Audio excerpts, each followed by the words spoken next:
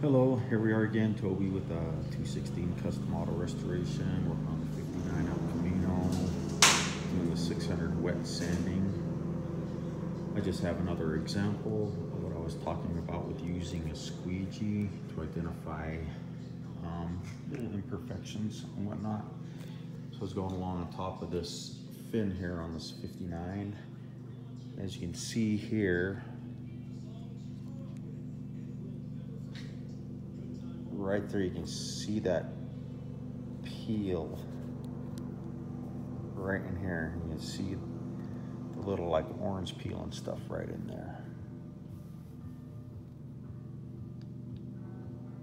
And if I bring it back here a little further where I sand it at